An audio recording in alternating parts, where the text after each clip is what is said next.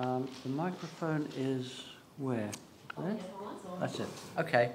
Um, well, thank you very much, Madam Mayor. Um, I'd like to start on a positive note by congratulating you and your council colleagues on the way in which, since last year's election, you've hit the ground running and faced up to a huge raft of daunting challenges, and that's even before the floods. Um, and I'd like to thank you as a Beckenham resident for the responsive alacrity with which you and the council have begun to address the flooding crisis. Um, as an administrator of the Beckenham Neighbourhood Facebook group, which now has nearly 450 members, um, i have been very keenly aware of, of the impact of the recent flooding on many residents' lives. This flooding has been the worst I've seen in over 34 years as a Beckenham resident. Um, and I think that makes it clear that the, the river's flood proneness has increased as a result of the earthquakes. So in addition to whatever proposals emerge from the task force, I'd urge the Council to review the appropriateness of the current extent of proposed development on the Heathcote floodplain. Um, something else I'd like, like to note positively is the news that completion of five of the so-called anchor products is to be deferred um, and I'd welcome even more the deletion of at least two of those projects, namely the stadium and the convention centre. Um, as far as I'm concerned, they're white elephants that should be slaughtered, and I don't think I'm alone in that view. Now, the positives I've mentioned so far make some aspects of the draft annual plan all the more disappointing, to me at least.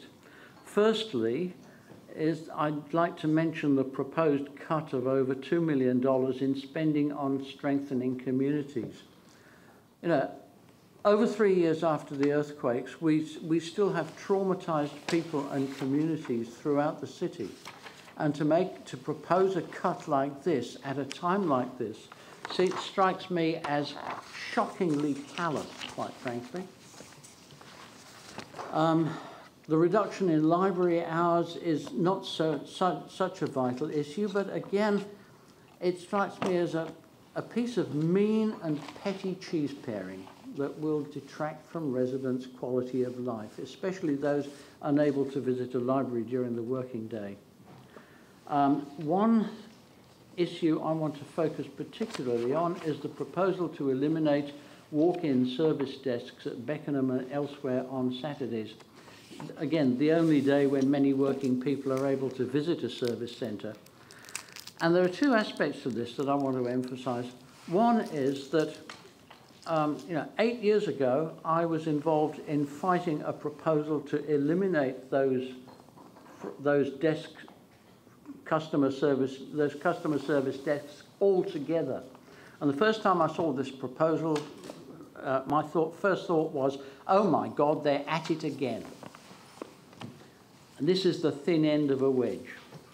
Um, one point thing that really needs to bear in mind, to be borne in mind, is that for many people, the, the staff at the service centre counters are the face of the council. They don't just deal with rate payments and dog licenses. I, you know, over the years, I've seen countless instances of counter staff at Beckenham giving advice and help on a variety of matters. And the council's face time with residents is a vital part of the way it interacts with the people of Christchurch and it makes an important contribution to how the council is perceived down at the grassroots. Um, but it, it seems to me that um, you know, something else that I'm concerned about in this proposal is the what I see as a deceitful manner in which ratepayers are being invited to support this draft plan on the basis of a summary from which most of this from which this proposal has been admitted. Most um, omitted. Most people won't look at the, at, at, the at the full document. They won't search it. They won't find this proposal.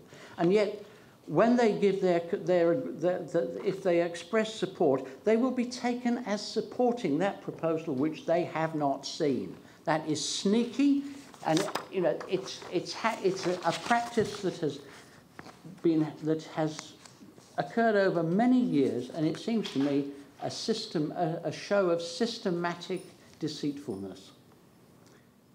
Uh, that's got to change. Um, the last thing I want to, to, to focus on is the democracy and governance section of, of, the, of, of the draft plan, which in, may, in many ways strikes me as the most depressing of all. Um, the targets for percentage of residents who understand how the council makes its decisions and those satisfied that the council makes decisions in the best interests of Christchurch. Eight years ago, the target figures was 75%. The actual was 47%. So there's been a progressive decline both in performance and in aspiration.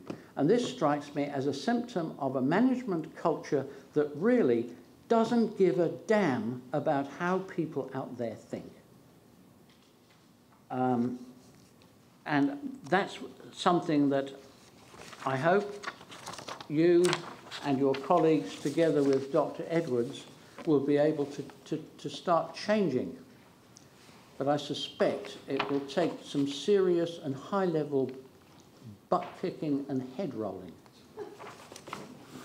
I wish you luck. Thank you, Peter. And thank you for your attention. I would love to have um, questions, but um, we've, we've come to the end of time. Sure. But um, uh, despite your harsh words, I know that you have come, you know, with the best of intentions, and um, I, um, I must admit that I hadn't actually looked at the service levels for the expectations around people's understanding about what we did, but um, they might actually be realistic rather than rather than aspirational. So, um, in fact, they might actually be aspirational. So, we might want to be better than that. so, anyway, but thank you very much. I really appreciate it. Thank you. Thank you. And is